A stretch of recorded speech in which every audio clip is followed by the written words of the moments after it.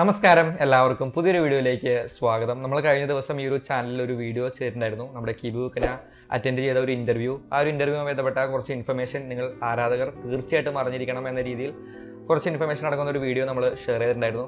ആ ഒരു വീഡിയോ ഒരുപാട് പേര് കാണുകയും നല്ല രീതിയിലുള്ള പോസിറ്റീവ് കമന്റുകളൊക്കെ ഷെയർ ചെയ്യുകയും ചെയ്തിട്ടുണ്ടായിരുന്നു. അപ്പോൾ ആ ഒരു വീഡിയോ കണ്ട് സപ്പോർട്ട് ചെയ്ത എല്ലാവർക്കും നന്ദി അറിയിക്കുകയാണ്. ഇനിയും ആരെങ്കിലും ആ ഒരു വീഡിയോ കാണാനുണ്ടെങ്കിൽ അതിന്റെ ലിങ്ക് കമന്റ് ബോക്സിൽ കൊടുത്തിട്ടുണ്ട്. തീർച്ചയായിട്ടും ഒരു വീഡിയോ നിങ്ങളൊന്ന് കണ്ടിരിക്കുക. നമ്മൾ ഇന്നും അത്തരത്തിലൊരു വീഡിയോ ആണ് ചെയ്യാൻ പോകുന്നത്. ഈ ഒരു രീതിയിൽ കേരള ബ്ലാസ്റ്റേഴ്സിന്റെ ആരാധകർ മനസ്സിലാക്കിയിരിക്കേണ്ട കുറച്ച് കാര്യങ്ങളെ കുറിച്ച് ഇതും ഒരു ഇന്റർവ്യൂവുമായി ബന്ധപ്പെട്ട ഒരു വീഡിയോയാണ് പക്ഷെ ഇത്തവണ നമ്മുടെ കിബൂക്കിനെ അല്ല നമ്മൾ ഈ ഒരു സീസണിൽ ഏറ്റവും കൂടുതൽ പ്രതീക്ഷ അർപ്പിക്കുന്ന ഒരു മനുഷ്യനുണ്ട് നമ്മുടെ സ്പോർട്ടിംഗ് ഡയറക്ടറായിട്ടുള്ള കരോളിസ് സ്കിൻകിസ്. അദ്ദേഹം അങ്ങനെ അധികം വീഡിയോ ഇന്റർവ്യൂസ് ഒന്നും കൊടുക്കുന്ന ആളല്ല. അദ്ദേഹം ഇന്ത്യയിൽ വന്നേ പിന്നെ അദ്ദേഹം ഇത്തരത്തിലുള്ള വീഡിയോ ലൈവ് ഇന്റർവ്യൂകളൊന്നും കൊടുത്തിട്ടില്ല. പക്ഷേ ചില വെബ്സൈറ്റുകൾക്ക് വേണ്ടിയിട്ട് സ്റ്റേറ്റ്മെന്റ് എന്ന രീതിയിൽ കുറച്ച് കാര്യങ്ങളൊക്കെ പറയുന്ന ഇന്റർവ്യൂകളെല്ലാം അദ്ദേഹം കൊടുത്തിട്ടുണ്ട്. ഇന്ന് നമ്മൾ അത്തരത്തിലൊരു ഇന്റർവ്യൂ ആണ് നിങ്ങളുമായിട്ട് ഷെയർ ചെയ്യുന്നത്. ഏറ്റവും ഒടുവിൽ അദ്ദേഹം ഖേൽനവ് എന്ന് പറയുന്ന ഒരു വെബ്സൈറ്റിന് നൽകിയ ഒരു ഇന്റർവ്യൂ ആ ഒരു ഇന്റർവ്യൂ വായിച്ചു നോക്കിയപ്പോൾ ഈ രീതിയിൽ നിങ്ങൾക്ക് ഷെയർ ചെയ്യാൻ സാധിക്കുന്ന കുറച്ച് സ്ട്രൈക്കിംഗ് ആയിട്ടുള്ള കുറച്ച് പോയിന്റ്സ് ഒക്കെ ആ ഒരു ഇന്റർവ്യൂവിൽ ഉണ്ടെന്ന് തോന്നിയതുകൊണ്ടാണ് നമ്മൾ ഇന്ന് ആ ഒരു ഇന്റർവ്യൂ ബന്ധപ്പെട്ട കുറച്ച് കാര്യങ്ങൾ നിങ്ങളിലേക്ക് ഷെയർ ചെയ്യുന്നത്. അപ്പോൾ അതെന്തൊക്കെയാണെന്ന് മനസ്സിലാക്കാൻ നിങ്ങൾ ഒരു വീഡിയോ മുഴുവനായി തന്നെ കാണുക. നമുക്ക് ഇന്നത്തെ വീഡിയോയിലേക്ക് കിടക്കാം.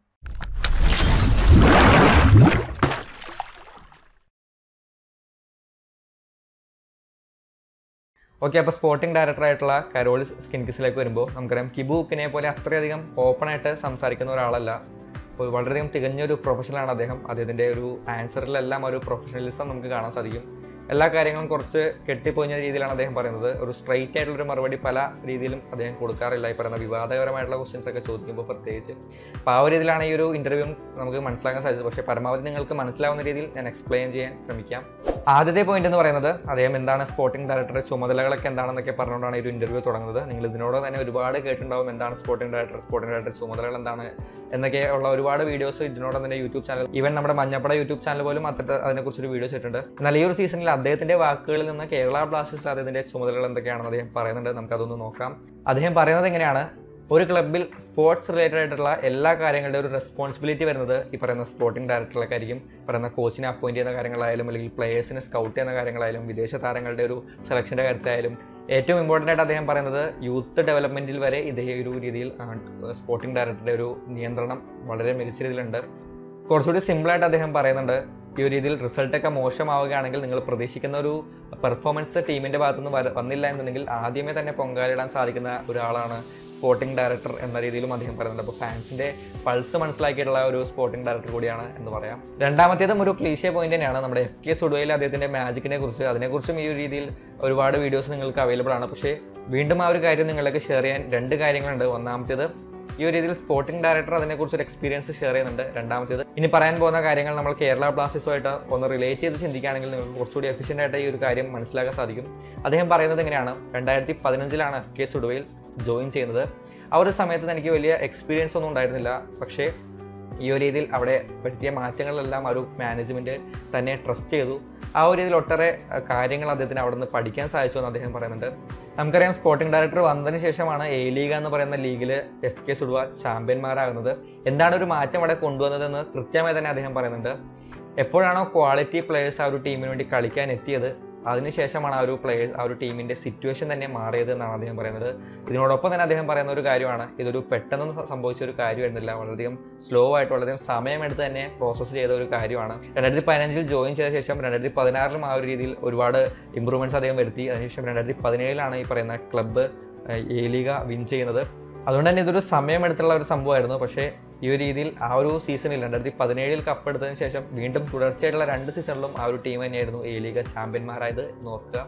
മൂന്നാമത്തെ ഇമ്പോർട്ടന്റ് ആയിട്ടുള്ള ഒരു പോയിന്റ് ആയിട്ട് എനിക്ക് തോന്നിയത്.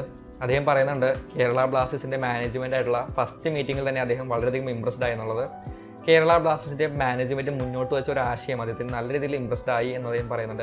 അങ്ങനെ കേരള ബ്ലാസ്റ്റേഴ്സ് മുന്നോട്ട് വെച്ച ആ ഒരു ആശയം എന്തായിരുന്നു നോക്കാം. അദ്ദേഹം പറയുന്നത് ഈ രീതിയിലാണ്. കേരളത്തിൽ ഫുട്ബോൾ ഡെവലപ്പ് ചെയ്യുക എന്നുള്ളതായിരുന്നു അവരുടെ ഒരു ആവശ്യം. ഇത് കേരള ബ്ലാസ്റ്റേഴ്സിന്റെ പ്രധാന ടീമിലും അതോടൊപ്പം തന്നെ ജൂനിയർ ടീമിലും മാറ്റങ്ങൾ കൊണ്ടുവരുന്നത് വഴി കേരളത്തിൽ ഫുട്ബോൾ ഡെവലപ്പ് ചെയ്യുക എന്നുള്ള ഒരു ആശയമാണ് കാരോളിസ് സ്കിൻകിസിനെ മുന്നോട്ട് വെച്ചത്. ഈ ഒരു കാര്യങ്ങൾ തന്നെയാണ് അദ്ദേഹം വീണ്ടും വീണ്ടും എടുത്തെടുത്ത് പറയുന്നത്. യങ് പ്ലേയേഴ്സ് ആണ് ഈ ഒരു സമയത്ത് ഏറ്റവും വലിയൊരു പ്രയോറിറ്റി ടാലന്റ് ആയിട്ടുള്ള യങ് പ്ലേയേഴ്സിന് കൂടുതൽ അവസരം കൊടുക്കുന്നൊക്കെ ഈ ഒരു ഇന്റർവ്യൂവിൽ അദ്ദേഹം ഒരുപാട് തവണ ആവർത്തിച്ച് ആവർത്തിച്ച് പറയുന്നുണ്ട്. അപ്പോൾ തീർച്ചയായിട്ടും വരാൻ പോകുന്ന ദിവസങ്ങളിലൊക്കെ നമ്മുടെ ജൂനിയർ ടീമിന് അതായത് നമ്മുടെ റിസോർട്ട് ടീമിൽ ഒരുപാട് മാറ്റങ്ങളൊക്കെ വരാൻ സാധ്യതയുണ്ട്. അവർക്ക് കൂടുതൽ കളിക്കാനുള്ള ടൂർണമെന്റുകളും അതോടൊപ്പം പിന്നെ ആ ഒരു റിസോർട്ട് ടീമിൽ തന്നെ വളരെ മികച്ചിട്ടുള്ള ഒരു അഴിച്ചുപണിയെ നമുക്ക് പ്രതീക്ഷിക്കാവുന്നതാണ്. ഈ പറയുന്ന യുവതാരങ്ങളുടെ ഒരു കാര്യം ഈ ഒരു സീസണിലേക്ക് മാത്രമായിട്ടുള്ളതല്ല അതൊരു വലിയ ലക്ഷ്യമായിട്ടാണ് അദ്ദേഹം കാണുന്നത്. അപ്പോൾ നമ്മൾ വിചാരിക്കുന്ന ഒരു കാര്യമായിരിക്കും ഈ ഒരു സീസണിൽ അല്ലെങ്കിൽ ഇമ്മീഡിയറ്റ് ആയിട്ട് സ്പോർട്ടിംഗ് ഡയറക്ടർ ക്ലബിൽ നടത്താൻ ഉദ്ദേശിക്കുന്ന പദ്ധതികൾ എന്തെല്ലാമാണെന്നുള്ളത് അതിനെക്കുറിച്ചും അദ്ദേഹം ഈ ഒരു ഇന്റർവ്യൂവിൽ വ്യക്തമായി തന്നെ പറയുന്നുണ്ട്. അദ്ദേഹം പറയുന്നത് എങ്ങനെയാണ് മികച്ച രീതിയിലുള്ള ഒരു ടീം ഫോം ചെയ്യുക എന്നുള്ളതിനാണ് പ്രധാനപ്പെട്ട ലക്ഷ്യം എന്ന് പറയുന്നത്. ആ ഒരു ടീം ഫോം ചെയ്യുന്നതിൽ രണ്ട് കാര്യങ്ങൾ അദ്ദേഹം പറയുന്നുണ്ട്. ക്വാളിറ്റി പ്ലേയേഴ്സും അതോടൊപ്പം തന്നെ അവർക്ക് കൃത്യമായ രീതിയിൽ ഒത്തിണങ്ങുന്ന രീതിയിലുള്ള സപ്പോർട്ടിംഗ് സ്റ്റാഫ് അത് ഈ പറയുന്ന കോച്ച് അതോടൊപ്പം തന്നെ അവരുടെ ടെക്നിക്കൽ സ്റ്റാഫുകളെല്ലാം ഈ ഒരു കാര്യത്തിൽ ഉൾപ്പെടും. അതോടൊപ്പം തന്നെ അവർ അദ്ദേഹം പറയുന്ന ഒരു കാര്യമാണ്. ഈ സംഭവം ഈ പറയുന്ന ടീം ഫോം ചെയ്യലും ക്ലബിനൊരു വിഷനുണ്ട് ആ ഒരു വിഷനുമായി യോജിച്ചു പോകുന്ന രീതിയിലേക്ക് ആ ഒരു ക്ലബിനെ ഫോം ചെയ്യുക എന്നുള്ള രീതിയിലാണ് അദ്ദേഹം പറയുന്നത്. ഇതിനോടൊപ്പം തന്നെ അദ്ദേഹം പറയുന്ന ഒരു കാര്യമാണ് ആരാധകർക്ക് കളി ആസ്വദിക്കാൻ പറ്റുന്ന രീതിയിലുള്ള ഒരു കളി കാഴ്ചവെക്കുക ഗ്രൗണ്ടിൽ അത് തന്നെയാണ് നമ്മളൊരു സാധാരണ ഫുട്ബോൾ വ്യൂവർ എന്ന രീതിയിൽ നമ്മൾ നോക്കുമ്പോൾ തന്നെയാണ് നമുക്ക് വേണ്ടത്. ഒരു മികച്ചുള്ള ഈ പറയുന്ന ബാക്ക് റൂം കാര്യങ്ങളൊക്കെ നമ്മൾ അധികം ബോധേടാവാറില്ല ഈ പറയുന്ന രീതിയിലുള്ള മികച്ച കളി കാണാൻ സാധിക്കുക എന്നുള്ളത് ആ ഒരു പോയിന്റും അദ്ദേഹം ഷെയർ ചെയ്യുന്നുണ്ട്. ഇതിനു വേണ്ടി ഒരുപാട് കാര്യങ്ങൾ അദ്ദേഹം ചെയ്തുകൊണ്ടിരിക്കുകയാണെന്നാണ് പറയുന്നത്. പക്ഷേ ഇനിയും ഒരുപാട് കാര്യങ്ങൾ ചെയ്യാനുണ്ട് എന്ന് അദ്ദേഹം പറയുന്നുണ്ട്. ആ ചെയ്യാനുള്ള കാര്യങ്ങൾ പോലും ലിസ്റ്റ് ചെയ്ത് അദ്ദേഹം പറയുന്നുണ്ട്. അതിൽ ഒന്നാമത്തേതാണ് ഇഞ്ചുറി പ്രിവെൻഷൻ ഈ ഒരു കാര്യം നമ്മൾ കഴിഞ്ഞ സീസണുമായി ബന്ധപ്പെടുത്തി പറയുമ്പോൾ എത്രത്തോളം ഇമ്പോർട്ടന്റ് ആണ് നമുക്ക് തന്നെ അറിയാം. ഇഞ്ചുറി മൂലം കഴിഞ്ഞ സീസണിൽ ഒരുപാട് മത്സരങ്ങൾ വിജയിക്കേണ്ട മത്സരങ്ങളും സമനിലയാവേണ്ട മത്സരങ്ങളൊക്കെ നമ്മൾ തോറ്റിരുന്നു. അപ്പോൾ ഈ ഒരു രീതിയിൽ ഇഞ്ചുറി വരാതിരിക്കുക അല്ലെങ്കിൽ കളിക്കാർക്ക് ഇഞ്ചുറി വരാതിരിക്കാൻ എന്തൊക്കെ ചെയ്യണം അങ്ങനെയുള്ള കാര്യങ്ങളൊക്കെ അദ്ദേഹം പ്ലാൻ ചെയ്യുന്നുണ്ട്. രണ്ടാമത്തേതാണ് സ്പീഡ് റിക്കവറി നമുക്കറിയാം ഫുട്ബോളാണ് ഇഞ്ചുറി വരും. അപ്പോൾ അങ്ങനെ ഇഞ്ചുറി വരുമ്പോൾ അതൊരു വലിയ രീതിയിലേക്ക് മാറാതിരിക്കുക. എത്രയും പെട്ടെന്ന് ആ ഒരു പ്ലെയറിന് തിരിച്ച് ഗ്രൗണ്ടിലേക്ക് വരാൻ സാധിക്കുന്ന രീതിയിലേക്ക് ഒരു റിക്കവറി ഒരു സ്പീഡ് റിക്കവറി ആ ഒരു പ്ലെയറിന് കിട്ടണം. ആ ഒരു രീതിയിലുള്ള കാര്യങ്ങളൊക്കെ പ്ലാൻ ചെയ്യുന്നുണ്ട്. പിന്നെ മൂന്നാമത്തേതും ഏറ്റവും ഇമ്പോർട്ടന്റ് ആയിട്ടുള്ള തോന്നിയിട്ടുള്ള ഒരു കാര്യമാണ് ലോങ്ങർ പ്രീ സീസൺ ഇത് നമ്മൾ കഴിഞ്ഞ വീഡിയോയിൽ ഡിസ്കസ് ചെയ്ത കാര്യമാണ്. മോഹൻ ബഗാനിൽ അവർക്ക് നാലോ അഞ്ചോ മാസത്തിലുള്ള ഒരു പ്രീ സീസൺ എത്രത്തോളം വരെ ഹെൽപ്പ് ചെയ്തു എന്നുള്ളത്. നമുക്കറിയാം ഇപ്പോൾ നടക്കുന്നത് ഒരു മാസത്തെ അല്ലെങ്കിൽ ഒരു ഒന്നോ രണ്ടോ മാസത്തെ ഒരു പ്രീ സീസൺ ആണ്. അത് കൂടിപ്പോയാൽ ട്രെയിനിങ് സെഷനും ഈ ഫ്രണ്ട്ലി മാച്ചുകളൊക്കെ ആയിട്ട് പോകുന്നത്. പക്ഷെ അദ്ദേഹം പ്രതീക്ഷിക്കുന്നത് ഒരു വലിയ പ്രീ സീസൺ ഒരു നാലോ അഞ്ചോ മാസം നീണ്ടു നിൽക്കുന്ന ഒരു രീതിയിലുള്ള ഒരു പ്രീ സീസൺ ടീമിൽ കൊണ്ടുവരിക എന്നുള്ളതാണ്. അത് ഈ ഒരു സീസണിൽ എത്രത്തോളം പ്രാവർത്തികമാവുമെന്ന് നമുക്ക് പറയാൻ സാധിക്കില്ല. എന്തെങ്കിലും വരും സീസണിൽ അത്തരത്തിലൊരു ലോങ് പ്രീ സീസൺ അദ്ദേഹം പ്ലാൻ ചെയ്യുന്നുണ്ട്. പിന്നെ അദ്ദേഹം അവസാനമായി പറഞ്ഞ കാര്യമാണ് പ്ലേയേഴ്സിന്റെ ഫിറ്റ്നസും ഡയറ്റും ഇത് നമുക്ക് ഒരു പരിധിവരെ ഇപ്പോൾ നടന്നുകൊണ്ടിരിക്കുന്ന ഒരു കാര്യമാണ്. നമുക്കറിയാം പൗളിസ് റുഗാസ്കാസ് വഴി ടെക്നിക്കൽ ടീമിന്റെ ഫിസിക്കലായിട്ടുള്ള കാര്യങ്ങളൊക്കെ നല്ല രീതിയിൽ ഇപ്പോൾ മുന്നോട്ട് പോകുന്നുണ്ട്. അപ്പോൾ ഇതൊക്കെയാണ് ഇനിയും അദ്ദേഹം ഈ ഒരു ടീമിൽ ഇംപ്ലിമെന്റ് ചെയ്യാൻ ഉദ്ദേശിക്കുന്ന കാര്യങ്ങൾ. ഇനി ഒരു കൺക്ലൂഷനിലേക്ക് വരുമ്പോൾ അദ്ദേഹം കൺക്ലൂഡ് ചെയ്യുന്നത് നമ്മൾ ആദ്യം നേരത്തെ പറഞ്ഞ ഒരു കേരള കേരളത്തിൽ ഫുട്ബോൾ ഡെവലപ്പ് ചെയ്യുക എന്നുള്ള ഒരു രീതിയിലാണ് അദ്ദേഹം കൺക്ലൂഡ് ചെയ്യുന്നത്. അദ്ദേഹം പറയുന്നത് കേരള ബ്ലാസ്റ്റേഴ്സിനെ ഇന്ത്യയിലെ നമ്പർ വൺ ടീം ആക്കുക എന്നുള്ളതാണ് ഒരു പ്രധാനപ്പെട്ട ലക്ഷ്യം എന്നുള്ളതാണ്. അതിനോടൊപ്പം തന്നെ അദ്ദേഹം പറയുന്ന രണ്ട് സ്റ്റേറ്റ്മെന്റ് ആണ്. കേരള ബ്ലാസ്റ്റേഴ്സിൽ ഇന്ത്യൻ പ്ലേയേഴ്സിനെ ഒരു നാഷണൽ ലെവലിലേക്ക് എത്തിക്കാൻ സാധിക്കുന്ന ഇന്ത്യൻ പ്ലേയേഴ്സിനെ ജനറേറ്റ് ചെയ്യുക എന്നുള്ളതാണ്.